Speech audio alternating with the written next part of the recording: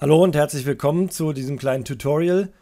Ähm, es soll gehen um die Installation des Nextcloud Client, damit man auf die Nextcloud-Instanz des Schulbildungsnetzes der Stadt Fulda zugreifen kann. In den letzten, da sagen wir mal, Tagen und Stunden ähm, gab es da wohl öfter mal das Problem, da tauchten jetzt die Fragen auf, wie man darauf zugreifen kann. Ich möchte ganz kurz erklären, was wir vorhaben, dann könnt ihr gleich entscheiden, ob es sinnvoll ist für euch, das weiter zu gucken. Ähm, also, was haben wir vor? Es gibt das Stadtbildungsnetz Fulda, die betreiben so eine Nextcloud-Instanz. Und das ist im Prinzip ja so eine große Datentonne und üblicherweise greifen wir alle über diesen Web-Client drauf zu. Das heißt also, das ist ein ganz, ganz normaler Webbrowser, dann gibt es hier einen Webserver ähm, und da greifen wir drauf zu. Jetzt gibt es da in letzter Zeit öfter das Problem eines Timeouts, was auch relativ logisch ist, weil äh, bis vor wenigen Tagen lagen da ja nur so ein paar Daten rum von irgendwelchen sehr engagierten Lehrern und, und, und äh, Projektarbeiten und so weiter. Und ähm, eben nicht so viel wie jetzt quasi seit der Schulschließung. Und da würde es uns ja stark wundern, wenn das jetzt nicht Probleme hervorrufen würde, weil dann hätten die Verantwortlichen einen viel zu großen Server hingestellt. Ähm, also von daher ist es völlig klar, wenn tagsüber alle jetzt gleichzeitig darauf zugreifen, dann muss das Ding halt irgendwann mal äh, die Gerätsche machen. Ähm, in diesem Nextcloud drin, da gibt es jetzt ganz viele äh, Module, da kann man chatten, da kann man reden, Talk, da gibt es Kalender, Kontakt, also alles, was so eine Groupware kann, Wiki-Funktion und so weiter. Und das, was im Moment so am wichtigsten ist, ist eigentlich diese, diese File-Sharing-Funktion, dass man eben zentral Unterlagen zur Verfügung stellt und die dann alle darauf zugreifen. Das Problem ist nur, wenn ich hier nicht mehr darauf zugreifen kann, dann komme ich hier auch an die Dateien nicht dran. Ne? Das heißt, dann liegen die zwar hier alle in der Dateiablage, ähm, aber ich kann sie halt zu Hause nicht sehen.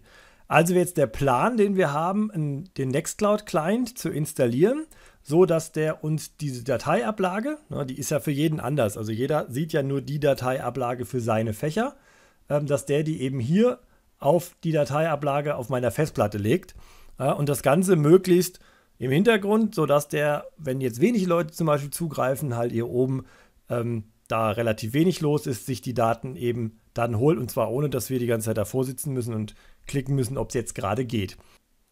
Ein zweiter großer Vorteil, ich habe es hier mal so symbolisiert mit diesen Pfeilen in zwei Richtungen. Ja, wenn ich jetzt hier in einem Ordner, auf dem ich Schreibrechte habe, etwas ändere, dann fährt der Nextcloud-Client das auch wieder über den Webserver auf die Dateiablage hoch. Das heißt also so Sachen wie Einreichen von irgendwelchen Aufgaben, also Lösungen zu den Aufgaben, ähm, kann man damit auch machen. Ne? Also man muss jetzt nicht warten, bis der Server geht, sondern man legt es einfach da rein und wenn, solange der Nextcloud-Client läuft, ähm, kann man einfach darauf warten, bis die Sachen dann irgendwann oben ähm, im System ankommen. Das Problem an der Sache ist, wir können jetzt nicht einfach den nächstbesten Nextcloud-Client nehmen, also den aktuellen, der funktioniert nicht. Ähm, das liegt einfach daran, dass hier diese Dateiablage äh, über ein spezielles System eingehängt ist und der aktuelle Client ähm, damit nicht klarkommt. Also zumindest nicht mit der Instanz, die wir jetzt haben. Ähm, da ist einfach ein Bug drin, das kann uns auch im Prinzip egal sein. Ich zeige euch gleich den richtigen Client, den ihr dafür nehmt. Zur Vorbereitung gehen wir jetzt als allererstes mal auf die Startseite der Nextcloud-Instanz vom SBN-Folder, ähm, weil wir da gleich einen Teil von der URL brauchen. Ähm, und dann brauchen wir den Client. Wir können leider nicht den aktuellen Client nehmen, weil in der SBN Cloud die externen Verzeichnisse über einen Mechanismus eingebunden sind, den der aktuelle Client nicht unterstützt. Also holen wir uns einen von den Legacy Clients. Den Link habe ich in die Videobeschreibung geworfen. Ähm, der 2.3.3.1 Client ist der, der uns interessiert. Der ist jetzt schon ein paar Jahre alt, aber ich meine, was wollen wir von dem Client? Wir wollen, dass er ein paar Dateien in der Gegend rumkopiert. Das wird er schon noch hinkriegen. Den laden wir uns jetzt einfach runter. Dann führen wir den aus und dann geht halt so ein kleines Installationsprogramm auf. Also fragt er, ob ich das wirklich will. Ja, ich bin mir sicher, dass ich das will. Ähm, und jetzt kommt dieser Wizard.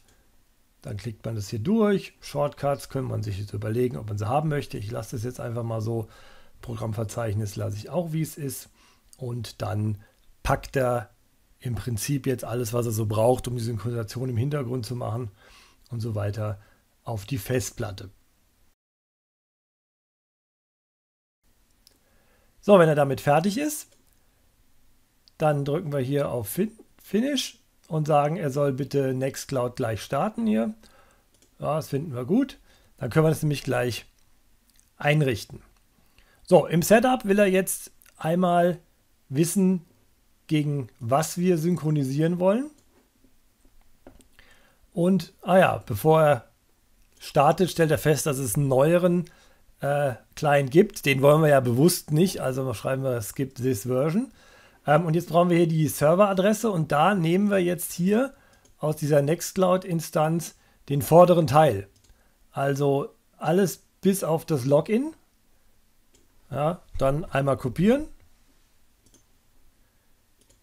und entsprechend dann hier reinwerfen. So, jetzt fragt er nach einem Usernamen. Da nehmt ihr den, den ihr von eurer Schule bekommen habt. Und will natürlich auch ein Passwort haben.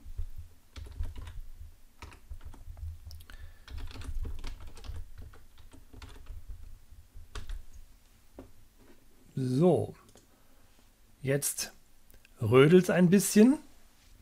Und jetzt kann man hier noch einstellen, wo man es gerne hin synchronisiert haben möchte. Ähm, und wenn man hier aber direkt Everything einschaltet, dann wird er über diese extern eingebundenen Verzeichnisse stolpern. Deshalb mache ich es immer über das Choose. Und da sehen wir also diese UC VFSS, das sind die, die diese Probleme im Moment machen, weil da einfach der Client äh, einen Fehler hat. Da fehlt einfach ein, ein, Tag in der Antwort, die der Server so ausspuckt. Ähm, und ich habe jetzt mal hier alles angeklickt und dann drücken wir auf Connect und dann schauen wir uns den lokalen Folder mal eben an. Und da sehen wir, hier wird jetzt schon fleißig synchronisiert und hier unten kommt noch so eine Synchronisation, wer was ähm, synchronisiert hat. Das geht manchmal noch schief, so dass er im ersten, im ersten Wurf die externen Verzeichnisse dann doch nicht mit synchronisiert. Und dann starten wir den Client nochmal von Hand. Und wenn ich jetzt hier die Server Activity mir angucke und hier mal drauf schaue, dann sehe ich hier, die sind alle noch rot. Ja, das liegt daran, dass, wie gesagt, die auf dem Server anders eingebunden sind. Und wenn ich jetzt hier auf Synchronize All klicke, dann versucht er das ähm, zu reparieren. Ähm, das gelingt ihm auch irgendwie nicht immer. Da muss man dann halt eben entsprechend den Client nochmal aufmachen und nochmal auf All drücken. Ähm, vielleicht, was weiß ich, alle halbe Tage mal überprüfen. Und wenn man das dann soweit hat, dann sieht man, dass im Hintergrund jetzt quasi das durchläuft.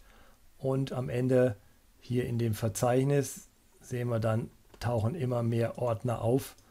Und dann haben wir am Ende, wenn der hier durchgelaufen ist, alles synchronisiert.